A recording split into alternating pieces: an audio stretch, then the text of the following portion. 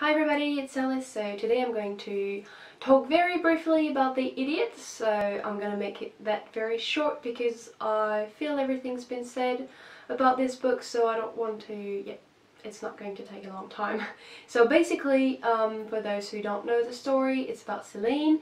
So she's starting her first year at university in Harvard and um, she's interested in language and um, yeah basically that's it. Nothing else is happening anyway.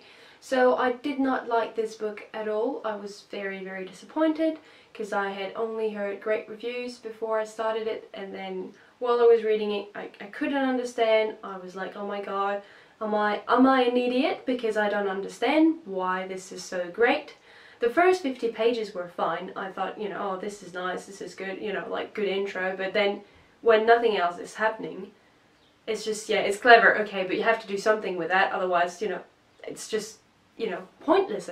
So I get, I uh, just didn't get it. So um, the characters felt very empty and I couldn't care for them at all. And it was supposed to be about language, but really it was not and the whole story between Ivan and Selin, this romance thing of chasing each other through mails, I just, I, I really didn't like that at all. And um, yeah, I don't know, I just felt it was very boring and yeah, it was well written, okay, but you know, I don't know, I just, it, it just didn't work for me. So I know it did for other people, so I'm not saying, you know, this is bad, it was just not working for me.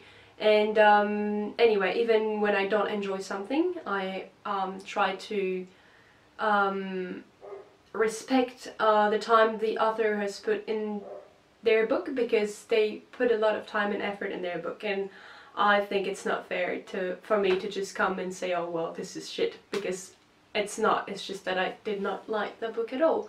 So um, I have an opinion but uh, I think you should also always respect what others are doing. It was going nowhere because it wasn't going anywhere.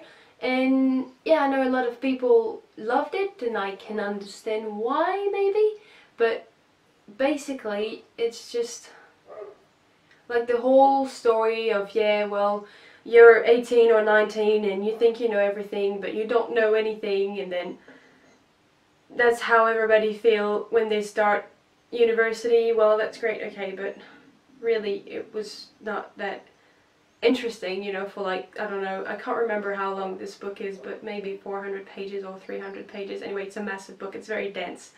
And yeah, just I really didn't, didn't like it. Anyway, that is all I will say about it. I don't want to go into too much details because everything's been said as I said and uh, I don't want to be redundant. So um, that's it for me. Not impressed with that one, but yep, it happens. Anyway, see you soon for another video.